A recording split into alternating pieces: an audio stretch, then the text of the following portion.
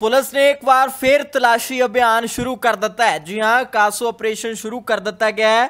ਪਿੰਡਾਂ ਪਿੰਡਾਂ, ਸ਼ਹਿਰਾਂ ਸ਼ਹਿਰਾਂ ਦੇ ਵਿੱਚ ਲੋਕਾਂ ਦੀ ਤਲਾਸ਼ੀ ਲਈ ਜਾ ਰਹੀ ਹੈ ਔਰ ਸ਼ੱਕੀ ਘਰਾਂ ਦੀ ਵੀ ਤਲਾਸ਼ੀ ਕੀਤੀ ਜਾ ਰਹੀ ਹੈ।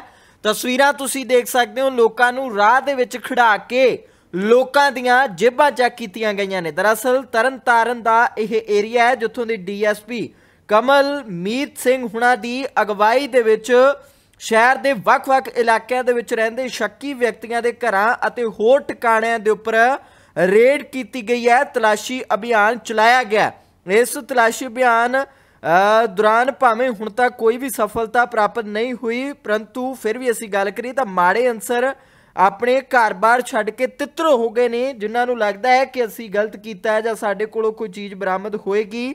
ਤਾਂ ਤਸਵੀਰ ਤੁਹਾਡੇ ਨਾਲ ਅਸੀਂ ਸਾਂਝੀ ਕਰ ਰਹੇ ਹਾਂ। ਪੂਰੇ ਪਿੰਡ ਦੇ ਵਿੱਚ ਫੋਰਸ ਹੀ ਫੋਰਸ ਤੁਹਾਨੂੰ ਨਜ਼ਰ ਆਵੇਗੀ। ਹਰੇਕ ਕਿਸੇ ਨੂੰ ਖਿਲਾਰ ਕੇ ਜੇਬਾਂ ਜਿਹੜੀਆਂ ਉਹ ਚੈੱਕ ਕੀਤੀਆਂ ਜਾ ਰਹੀਆਂ ਨੇ।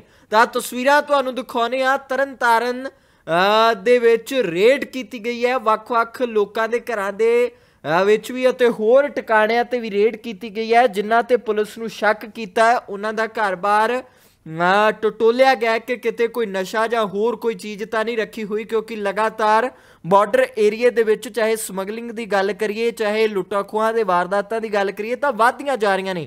ਸੋ ਇਸ ਕਰਕੇ ਕਾਸੂ ਆਪਰੇਸ਼ਨ ਇੱਕ ਵਾਰ ਫਿਰ ਅਮਲ ਦੇ ਵਿੱਚ ਲਿਆਂਦਾ ਗਿਆ। ਪੁਲਿਸ ਵੱਡੀ ਗਿਣਤੀ ਦੇ ਵਿੱਚ ਭਾਰੀ ਫੋਰਸ ਦੇ ਨਾਲ ਪੂਰੇ ਪਿੰਡ ਦੇ ਵਿੱਚ ਚੈਕਿੰਗ ਕਰ ਰਹੀ ਆ। ਵੱਖ-ਵੱਖ, ਵੱਖ ਸ਼ਹਿਰਾਂ ਦੇ ਵਿੱਚ ਔਰ ਵੱਖ-ਵੱਖ ਥਾਵਾਂ ਤੇ ਇਹ ਚੈਕਿੰਗ ਅਭਿਆਨ ਜਿਹੜਾ ਆ, ਉਹ ਚਲਾਇਆ ਗਿਆ। ਤੁਸੀਂ ਬੰਦੇ ਕੋ ਨਹੀਂ ਪੜਦੇ ਹੋ? ਤੁਸੀਂ ਬੰਦੇ ਕੋ ਨਹੀਂ ਪੜਦੇ ਹੋ? ਤੁਸੀਂ ਬੰਦੇ ਕੋ ਨਹੀਂ ਪੜਦੇ ਹੋ? ਇਹਦੀ ਘਰ ਦੀ ਮੰਜੂ। ਜਿਹੜੀ ਕਰ ਉਹਨਾਂ ਮੀਆਂ ਬੀਵੀ ਦੇ ਬੱਚੇ ਦੱਸੇ ਆ ਜੀ। ਇਹ ਇੱਕੋ ਦੱਸਦੇ ਕਲਰ ਦੇ ਵਾਸਤੇ ਲੱਭਦੇ ਹਾਂ ਇਹ ਉੱਥੇ ਵੀ ਨਹੀਂ ਲੱਭਣ ਦਿਆ ਅੱਜ ਲੱਭ ਗਿਆ ਜੀ।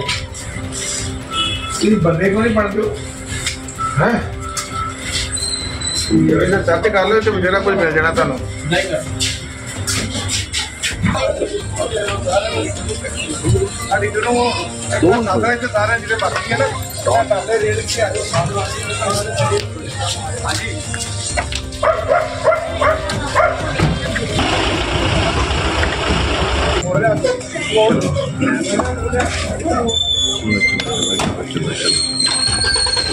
ਉਹ ਕਰਦੇ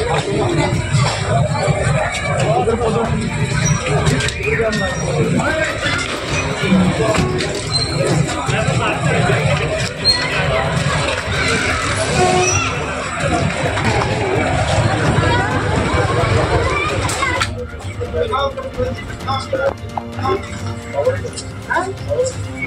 ਕੀ ਆ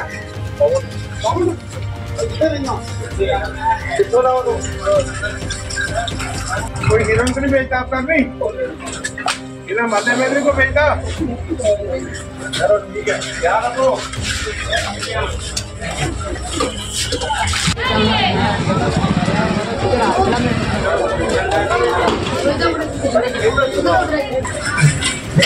नहीं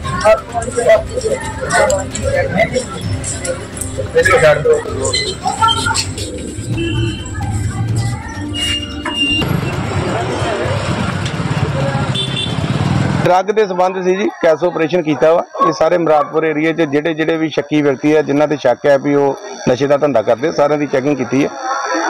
ਕੋਈ ਬਰਾਮਦਗੀ ਕੋਈ ਨਹੀਂ ਬਰਾਮਦਗੀ ਕੋਈ ਨਹੀਂ ਹੋਈ। ਤੇ ਇੱਕ ਵਿਅਕਤੀ ਨੂੰ ਰਾਉਂਡ ਅਪ ਕੀਤਾ ਵਾ।